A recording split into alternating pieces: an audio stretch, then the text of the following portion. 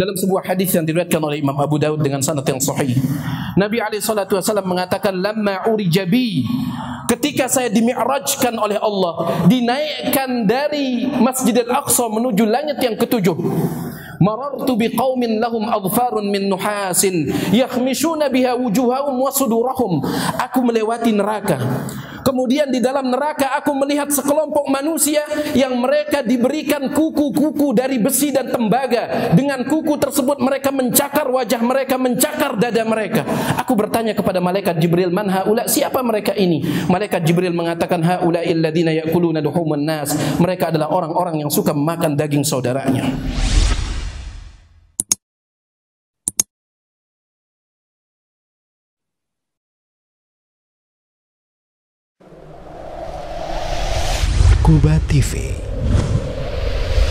Saluran kajian dan murotal Al-Quran.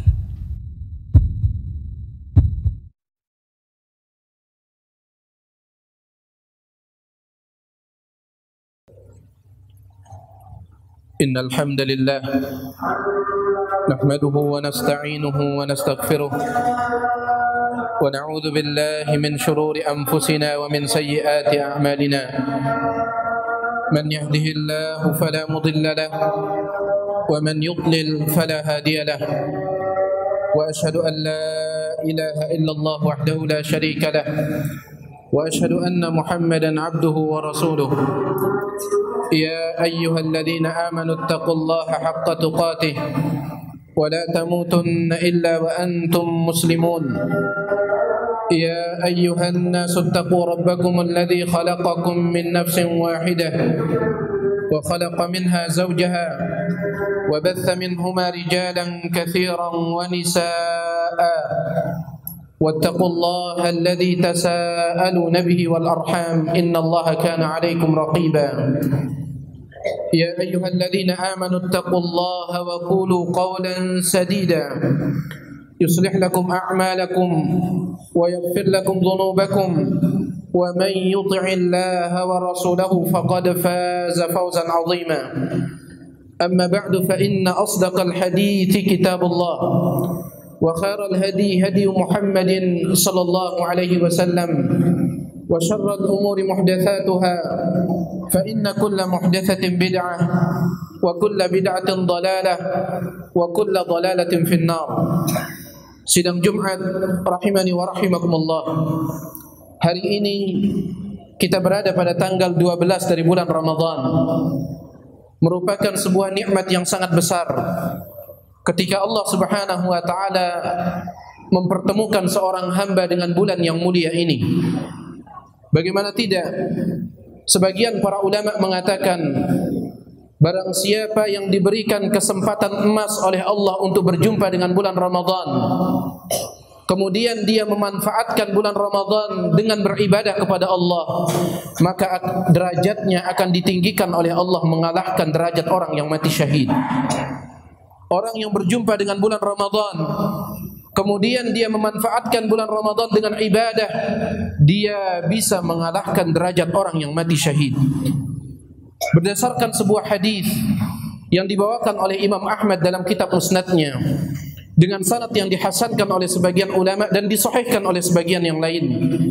Dari salah seorang sahabat yang bernama Talhah bin Ubaidillah radhiyallahu taala anhu dia bercerita pernah ada dua orang laki-laki datang ke kota Madinah kemudian mereka menyatakan masuk Islam bersamaan. Dua orang mereka masuk Islam bersamaan. Kemudian setelah mereka masuk Islam, ternyata salah satu di antara keduanya lebih rajin beribadah daripada yang lain. Bahkan yang satu yang rajin beribadah tersebut dia sempat ikut berperang bersama Nabi SAW dan dia pun mati syahid. Sedangkan kawannya tidak ikut berperang. Yang satu mati syahid. Ketika yang satu tersebut telah mati syahid, adapun yang satunya masih diberikan umur panjang oleh Allah yaitu satu tahun. Ketika temannya telah meninggal dunia mati syahid di medan tempur. Kemudian setelah satu tahun barulah kawannya yang kedua tersebut meninggal dunia. Talhah bin Ubaidillah mengatakan pada suatu malam saya bermimpi seolah-olah saya dan dua orang tersebut berdiri di hadapan pintu surga. Kemudian tidak lama kemudian malaikat penjaga pintu surga pun keluar. Kemudian menyuruh orang yang tidak mati syahid tersebut untuk masuk ke dalam surga duluan. Setelah orang yang tidak mati syahid itu masuk ke dalam surga, barulah malaikat kembali keluar dan mengizinkan kepada yang mati syahid untuk masuk ke dalam surga urutan yang kedua. Setelah itu barulah malaikat tersebut kembali keluar mengatakan kepada Talha, "Adapun engkau wahai Talha, belum tiba giliranmu untuk masuk ke dalam surga." Keesokan harinya Talhah menceritakan mimpinya tersebut kepada para sahabat. Para sahabat semuanya keheranan. Bagaimana mungkin orang yang tidak mati syahid, dia lebih dahulu masuk ke dalam surga daripada orang yang mati syahid. Maka mereka pun melaporkan mimpi tersebut kepada Nabi alaihi salatu wasalam. Apa jawaban Nabi alaihi salatu wasalam? Awa min dzalika ta'jabun? Apakah kalian heran? Apakah kalian heran? Kata mereka tentu kami heran wahai Rasulullah Bagaimana mungkin orang yang tidak mati syahid Dia dipersilahkan masuk surga duluan Mengalahkan orang yang mati syahid Kata Nabi alaihi salatu wasalam qad makatha hadha ba'dahu sanah Wa adraka ramadana fasama Bukankah kawannya yang satu yang tidak mati syahid tersebut dia diberikan tambahan umur satu tahun oleh Allah Subhanahu Wa Taala dan dalam satu tahun itu dia berjumpa dengan bulan Ramadan dan dia berpuasa pada bulan tersebut. Para sahabat mengatakan bala betul wahai Rasulullah.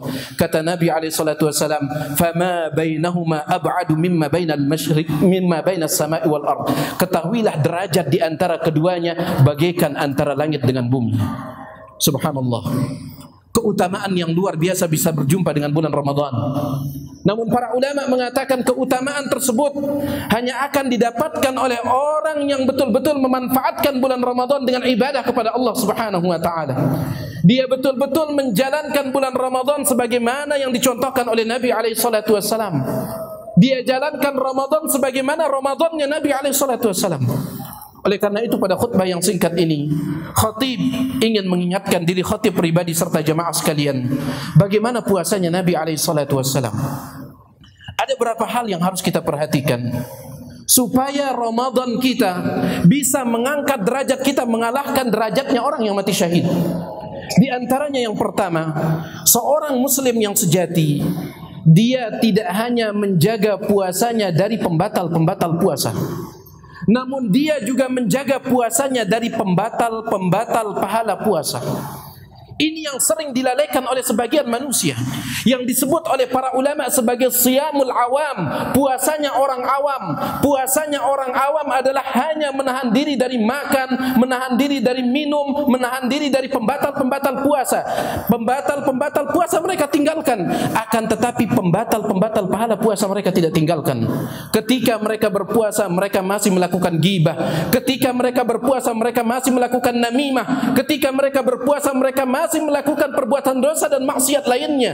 Padahal Nabi sallallahu alaihi wasallam mengatakan dalam hadis sahih riwayat Imam Bukhari, "Man lam yada' qaula zur wal 'amala bihi falaysa lillahi hajatun fi an yada'a ta'amahu wa syarabahu."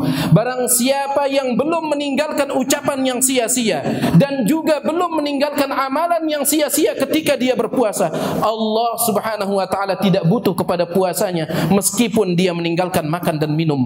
Apa maksudnya Allah tidak butuh kepada puasanya ditafsirkan oleh hadis yang lain rubba saimin laisa lahu min siyamihi illa al-ju' wal atash banyak orang yang puasa tidak ada dapatnya dari puasa tersebut kecuali lapar dan haus saja kita tidak ingin puasa kita seperti itu.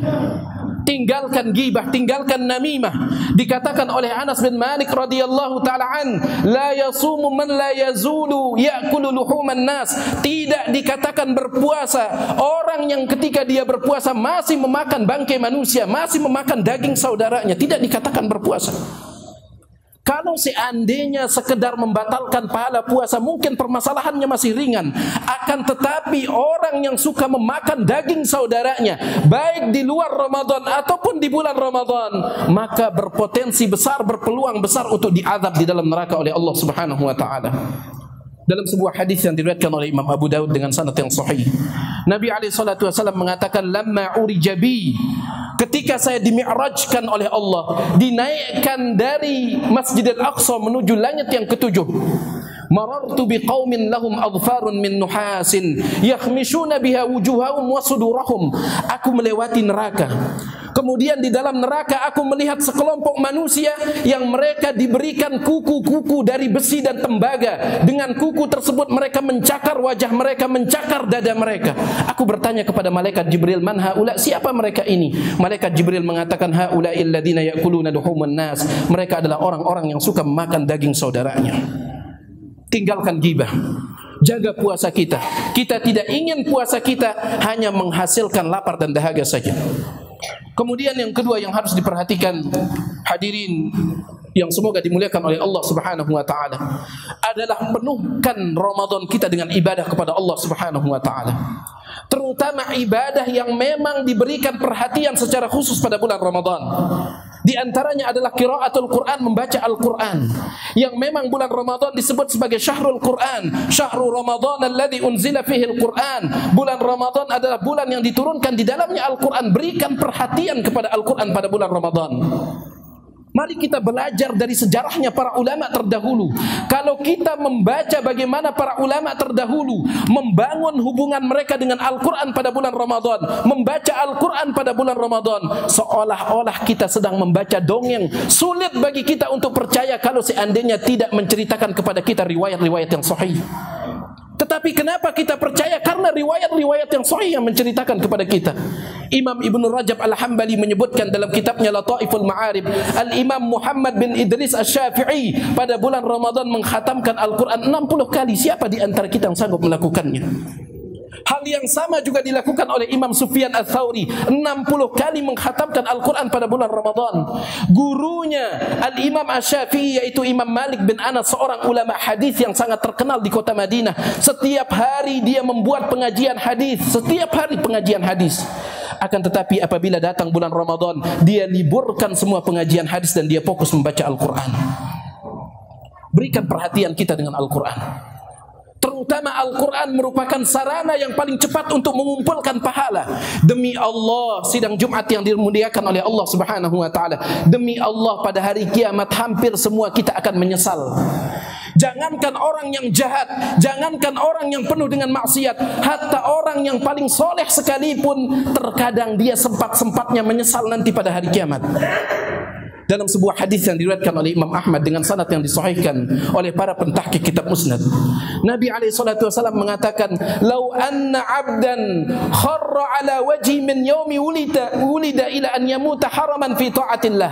Kalau seandainya ada seorang hamba Seandainya ada seorang hamba semenjak dia baru dilahirkan oleh ibunya sampai dia meninggal dunia, dia penuhkan hidupnya dengan ibadah.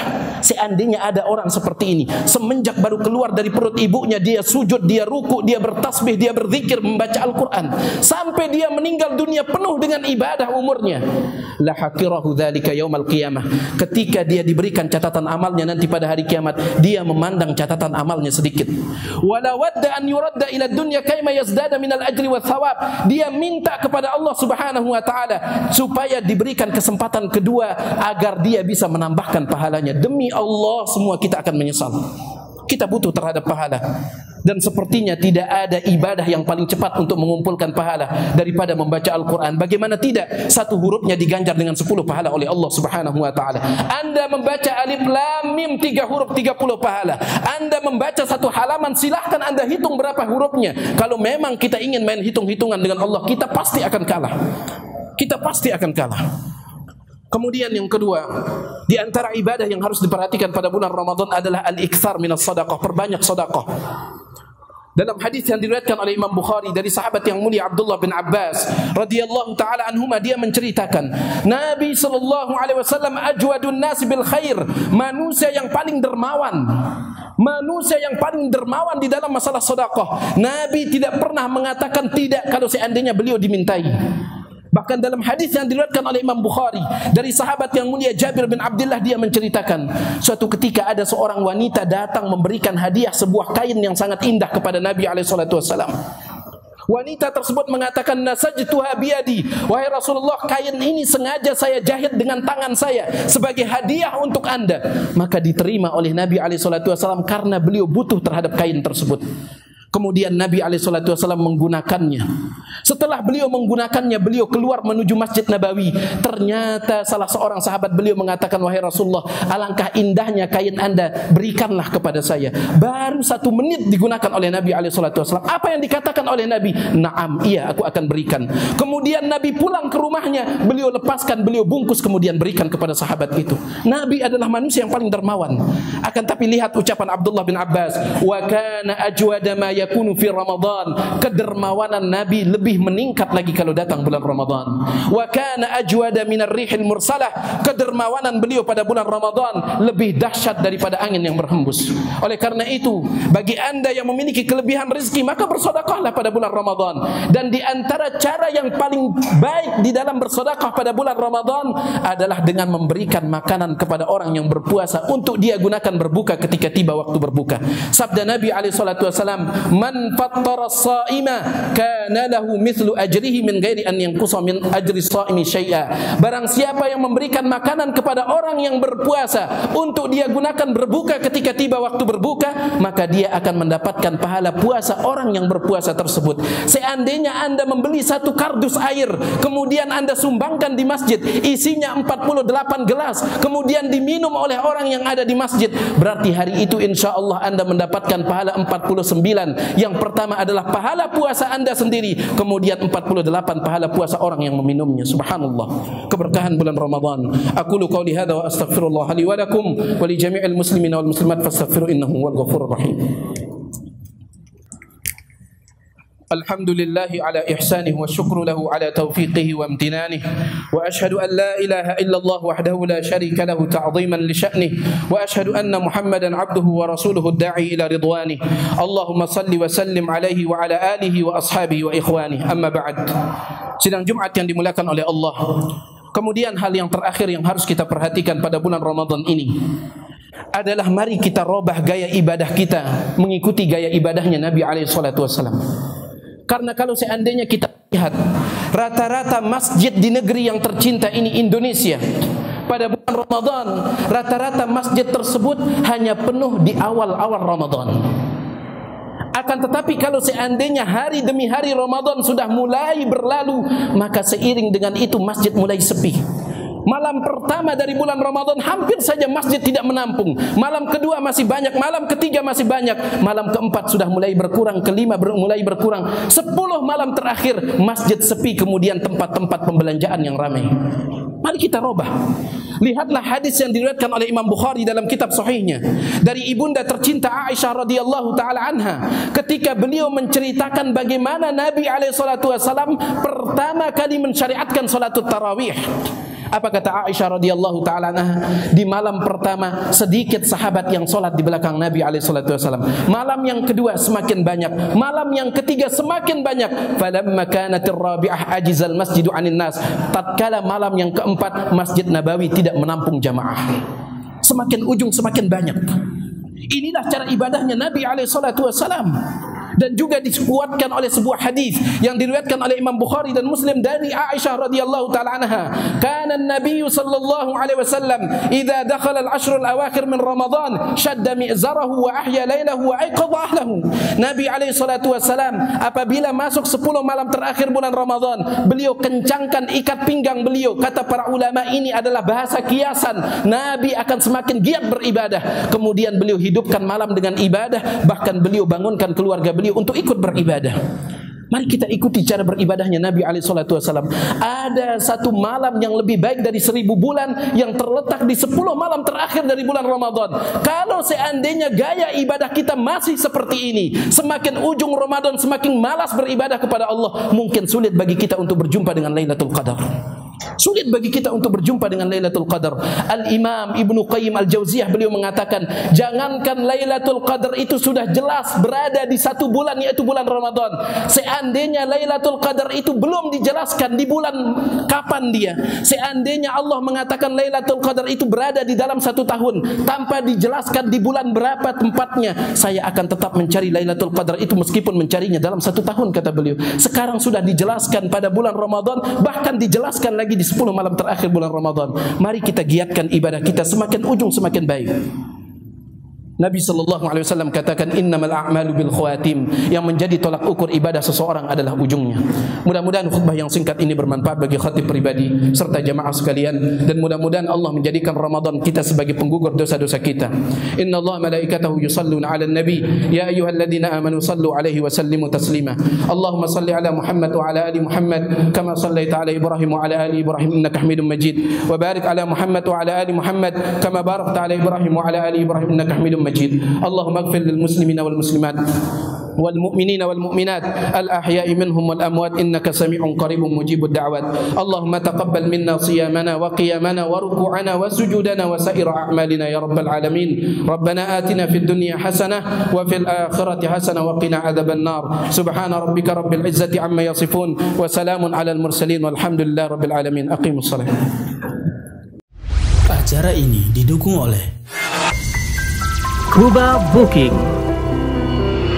a tripper partner in Saudi.